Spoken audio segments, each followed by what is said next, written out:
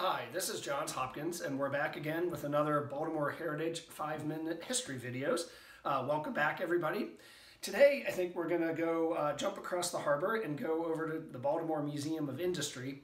Um, and before I get going uh, with that, we're going to we're to talk about canneries uh, and canning.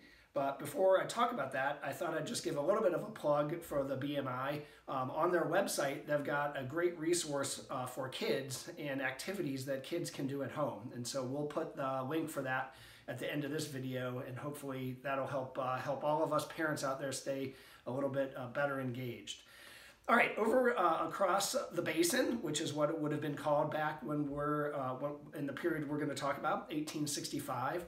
The BMI is actually inside an old cannery, uh, the Platt and Company oyster canning uh, uh, factory. Um, the building that they have is the, the warehouse building, and it was part of a complex that was up and running in the 1860s. And if you uh, think about that, and when I learned about it, I was surprised. I thought, uh, canning in the Civil War? Uh, and the answer is absolutely. Uh, canning got started in New England in the 1830s. Um, and if, if, by the 1840s, uh, Baltimore's canning operations were sending oysters, canned oysters, out to the 49ers. Um, not the uh, not the football team, but the uh, the 49ers, the 1849ers, out prospecting for gold. And during the Civil War, if you were a, a soldier who had a can of oysters in your rations, uh, you felt yourself pretty lucky. And those oysters definitely would have come from Baltimore and the Chesapeake Bay, um, would have come from the Chesapeake Bay and would have been canned in Baltimore. So in this complex, uh, uh, there's the warehouse that's now part of the, the Baltimore Museum of Industry um, exhibit space. Uh, there was also what was uh, something called the shucking shed, and this is where the oyster shuckers uh, would stand uh, and perform their work. Um, they would the, the, sheds were usually unenclosed; they were just basically a roof, um, and the shuckers would stand in stalls and with their shucking knives and uh, take apart the oyster, drop the oyster into a pail, and just leave the, the shells on the ground to be swept up at the end of their shifts. Uh, the shuckers got paid per pail. There was no minimum wage back then.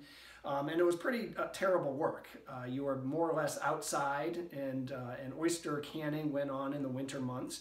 So it was cold, it was wet, um, you were standing in all the oyster mess, um, and it was low wage it's not surprising that most of the shuckers were African American uh, men and women and uh, newly arrived immigrants. And in fact, uh, the Baltimore Museum of Industry, the Platt and Company um, oyster packing uh, canning place, is in Locust Point, which is right where uh, the port of, point of entry for European immigrants would have been um, in the years following the Civil War. So a natural place for somebody coming off a ship uh, who was poor and in, and in need of a job.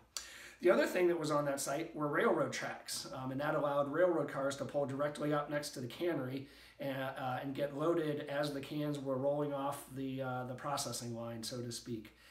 Um, uh, the uh, one more word about the uh, the shuckers themselves. Uh, kind of in keeping with the morals of the day, there were they were segregated by men and women, um, and then the other population that got pulled in were kids. Uh, there were no child labor laws back then. I think the first federal labor law, uh, real one that had any teeth, was 1908. So back in 1865, with Platt and Company, um, uh, children were very much fair game. Um, I want to wrap it up with two things. One is uh, the Platt and Company uh, cannery was one of over 70 on the on the basin, uh, along the basin, the inner harbor today. Um, just think of that, 70 canneries all operating uh, all along the harbor, the shores of the harbor. The canning industry back then uh, employed 15,000 people, so a significant, uh, a significant um, job creator with uh, with all that industry going on, there was a fair amount of innovation as well. And I'm going to mention two innovators whose names I think you may recognize. Uh, the first was a gentleman named Shriver, and Shriver invented uh, the pressure canning uh, technique that allowed uh, allowed uh, industries like Platt and Company to do not just one or two cans at a time, but to do up to 500 cans of oysters at a time.